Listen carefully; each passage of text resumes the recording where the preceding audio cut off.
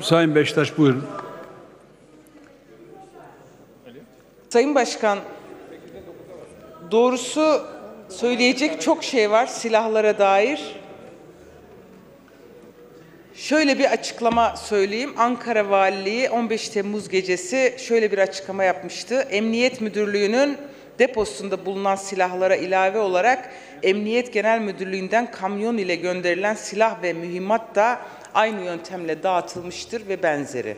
Bir kere bu silahların nasıl dağıtıldığı, nerelere gittiği yıllardır bu mecliste konuşuluyor. MİT tırlarından bugünlere kadar geldik. Ancak Sayın Öcalan'ın, hatibimizin söylediği mesele şudur. Katilin, İzmir'de Deniz Poyraz'ı katleden katilin belinde ruhsatlı silah var.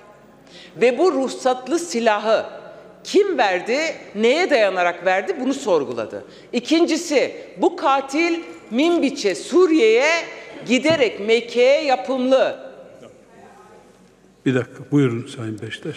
TSK envanterinde kayıtlı silahları silahlarla nasıl poz verdi? Bunu soruyor. Ya çok net soruyoruz, biz de soruyoruz. Ve bu bu katil, bu cani aynı zamanda sağlık müdürlüğünde bir sağlık çalışanı olarak, memur olarak görülüyor. Bunları lütfen bütün milletvekilleri yan yana getirsin. Sayın Özkan kolluk gücümüz görevini yapıyor diyor ama bütün kolluk gücüne bir şey diyemem. Bizim derdimiz onlara emir verenlerle, İçişleri Bakanlığı'yla, valiyle.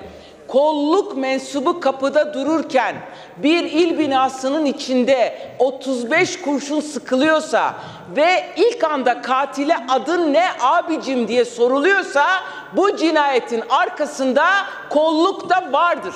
Bunun başka bir şeyi yoktur nokta. Peki, teşekkür ederim.